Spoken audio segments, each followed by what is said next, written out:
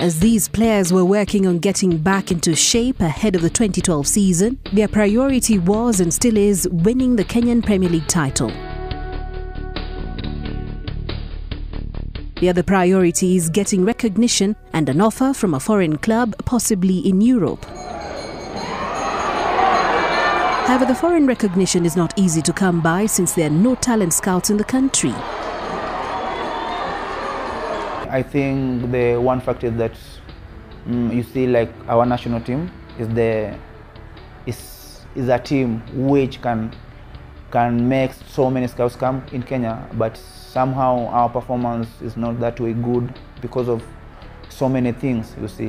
AFC coach Jan Koops is challenging scouts to make Kenya a regular stopover in order to unearth the talent within. I think that Holland and Germany are thinking, ah, Kenya, number 120 now in the last uh, uh, two weeks, 133. Uh, there are no good players. In the absence of scouts, Kenyan players are forced to go hunting for the clubs on a trial basis. Playing in a foreign club usually comes along with a bigger pay package. hata sasa Eto'o anacheza Russia, unaangalia sijui kina Mamadou Yang kina sijui nani nani wanacheza Uarabuni ama wapi.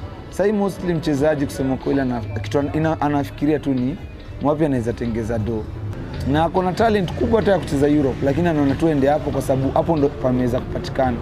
However, just a fraction of the Kenyan players have made it in Europe and Asia.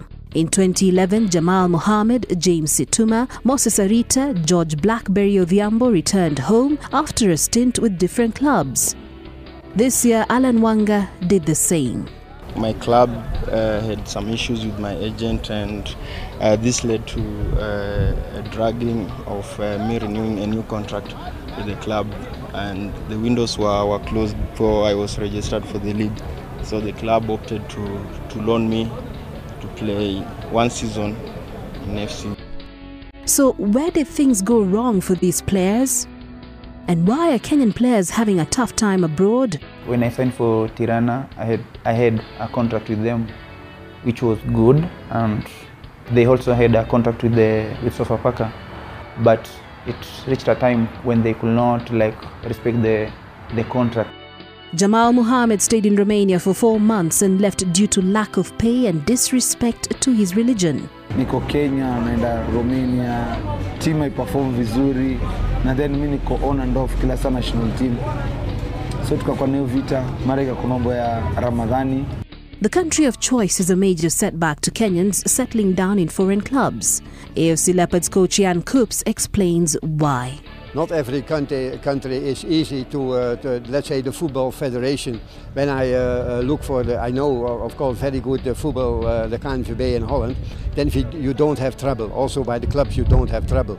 But sometimes it depends in, in other countries, let's say Albania, yeah, Vietnam, that are not real football countries. Former Harambee Stars coach Ghost Mulee links the players' wars abroad to a lack of sports education from an early age. I think it is our work as tacticians, as a federation, to sit back and bring in programs that nurture and develop players for the future. Otherwise, we will still be lost in, in as far as international football is, is concerned.